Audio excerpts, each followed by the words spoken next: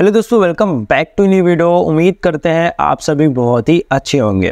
दोस्तों, आपको पता है फाइनली नई वाली जो है Bajaj Pulsar N H two hundred Indian market में लॉन्च हो रही है। ज़ाहिर सी बात है दोस्तों लॉन्च हो रही है कि ऑलमोस्ट हो चुकी है बाइक रिवील हो चुकी है।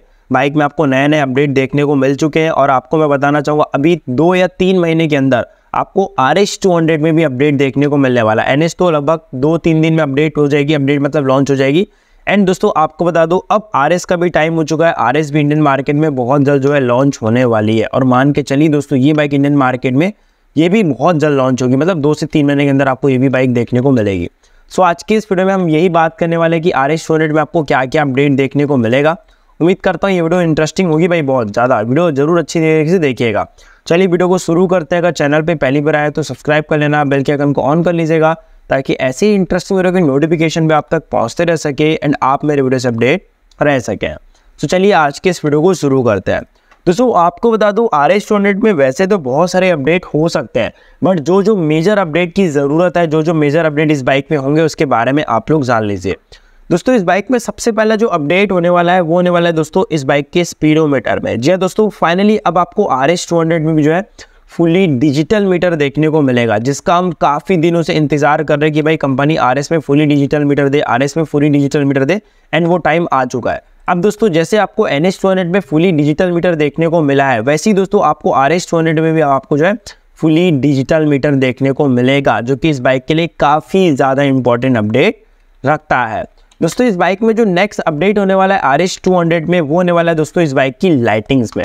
आपको पता मैं कितने दिनों से बोल रहा हूँ भाई बजाज वालों की भाई अब आप लोगों को बाइक में एलईडी प्रोजेक्टर लाइट देना चाहिए एलईडी प्रोजेक्टर लाइट देना चाहिए बट इन्होंने अभी तक इस बाइक में एलईडी प्रोजेक्टर लाइट नहीं दिया।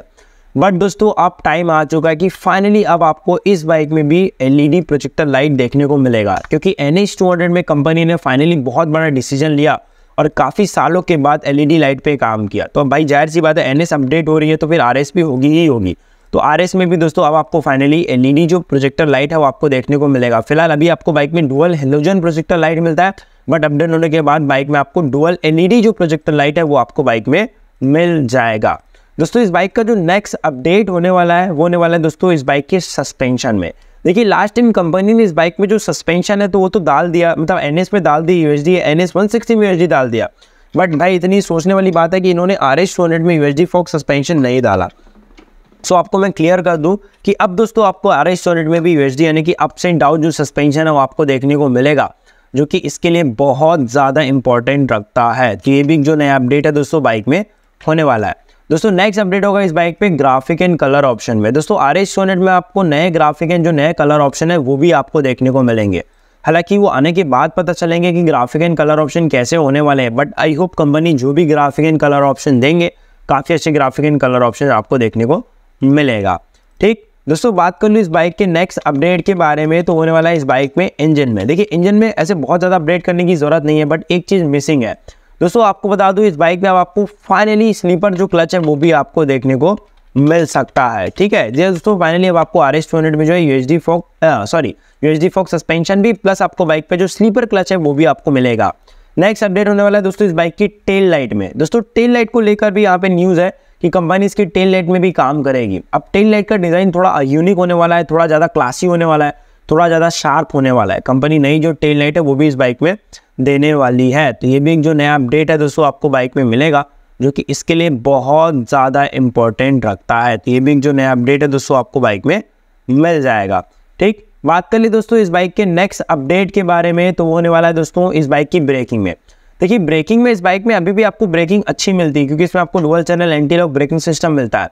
बट दोस्तों, अभी जहाँ तक मुझे पता है यूट्यूब जो यूट्यूब कहता हूँ, यार यूट्यूब में मतलब जितने भी मैंने वीडियो देखी, सभी का यही कहना है कि कंपनी यहाँ पे एक काम करेगी, वो बात सच है, बिल्कुल सच है कि कंपनी इस बाइक में जो प्लेट है, वो नई वाली प्लेट दे देगी, जो कि बाकी प्लेट अभी एन वन सिक्सटी और अपनी नई वाली एन एस में देखने को मिला है। तो ये भी जो अपडेट है, वो आपको दोस्तों इस बाइक में देखने को मिल जाएगा।